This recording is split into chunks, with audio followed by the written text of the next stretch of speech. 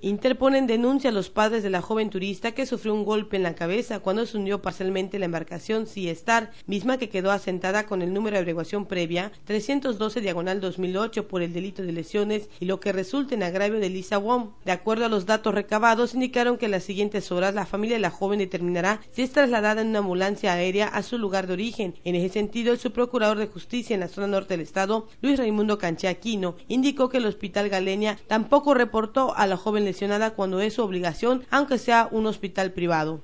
Y se enteraron, se enteraron porque nadie les informó. Asimismo, agregó que ni Capitanía de Puertos ni la misma empresa están cooperando con las autoridades estatales.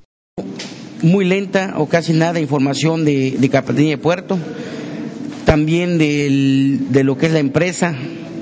Sí, estuvo buscando al capitán, el capitán, pues, ellos dicen que no saben dónde está, yo tenía entendido que estaba ahí, el caso es que eh, pues estamos dentro investigando toda vez que tenemos una lesionada sin que realmente tengamos información oficial de parte de Capitanía de Puerto. Agregó que la dependencia estatal está trabajando de cero porque no cuentan con la lista de pasajeros, lo que está retrasando la labor de la dependencia en torno a la investigación, aclarando que aquí la que debe dar un informe por la lesionada es Capitanía de Puerto y qué fue lo que realmente sucedió en el lugar de los hechos. Dijo que se solicitó a la empresa que presenta a comparecer al capitán de la embarcación de quien solo se obtuvieron algunos datos, pero no ha declarado ante el Ministerio Público. Con imágenes de Jonathan Díaz para Notivisión, Cecilia Solís.